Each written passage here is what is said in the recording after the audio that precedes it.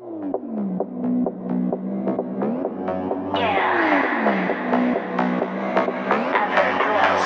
a lunatic, girl should be high, yeah,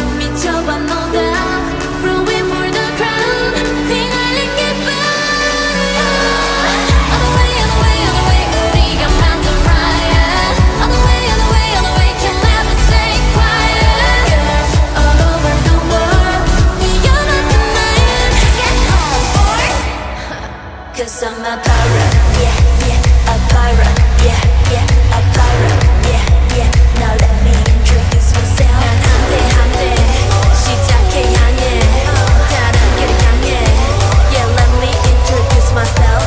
허, 노래 불러 이제 가려진 달광 찔러 축제. Well, she me timbers. 같이 이밤 지켜봐.